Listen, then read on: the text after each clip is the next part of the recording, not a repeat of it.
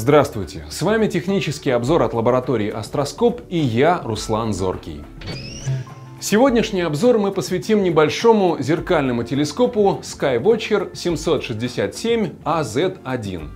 Известный канадский бренд позиционирует этот рефлектор Ньютона как универсальную модель для начальных астрономических наблюдений, в первую очередь Луны и крупных планет, а также ярких звездных скоплений и туманностей. Телескоп установлен на раздвижной алюминиевой треноге, похожей на знакомые нам треноги от EQ2 или AZ3. Однако она чуть меньше, чуть тоньше и чуть легче. Крепежные элементы опор и треугольная полочка-распорка выполнены из пластика. Верхняя площадка треноги силуминовая. Она имеет форму трилистника с центральной втулкой вертикальной оси. Движение по азимуту полнокруговое. Для фиксации положения имеется винт М6 с пластиковой ручкой. Во втулке установлена широкая двухперьевая вилка, тоже силуминовая. Перья имеют наклон около 30 градусов к горизонту. И благодаря этому движение трубы по высоте возможно до 80 градусов, что вполне достаточно для астрономических наблюдений. Труба крепится к вилке двумя винтами М8 с удобными пластиковыми головками. Эти же винты выполняют роль фиксаторов движения по высоте. В левом пере вилки установлена штанга тонких движений. Второй ее конец направлен к окулярному узлу, но на этот раз вперед, а не назад, как у рефракторов.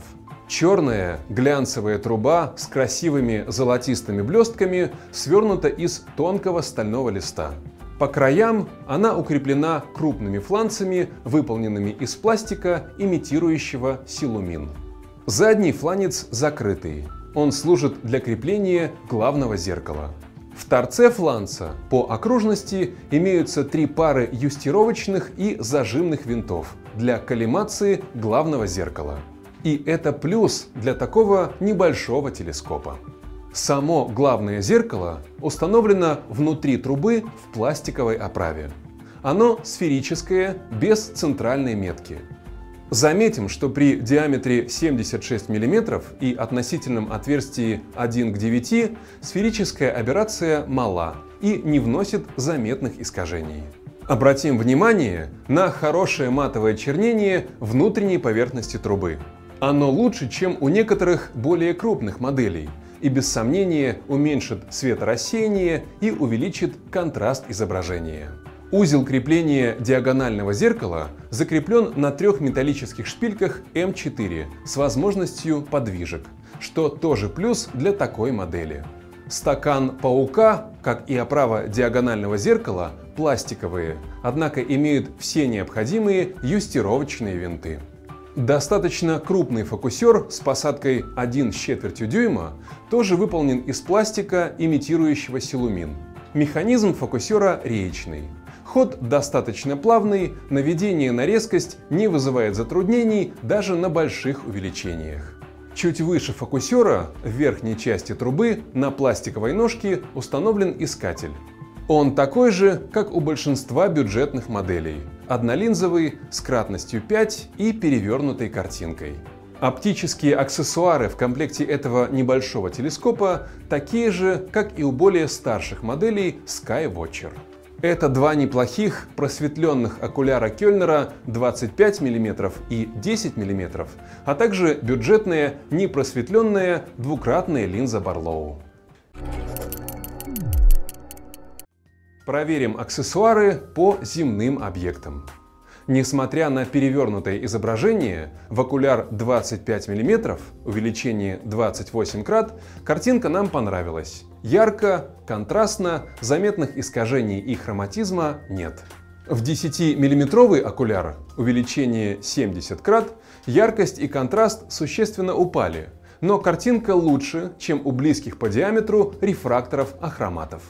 Сочетание комплектной линзы Барлоу и окуляра 25 мм дало увеличение 56 крат, но изображение хуже, чем с окуляром 10 мм.